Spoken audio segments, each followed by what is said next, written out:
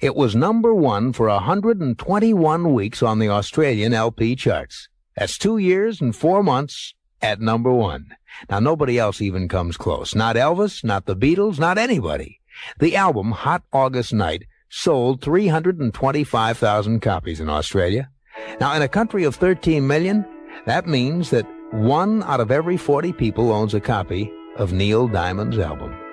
Here's his latest single at number 34 this week. I've seen the light.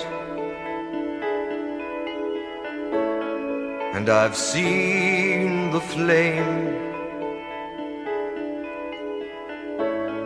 And I've been this way before. And I'm sure to be this way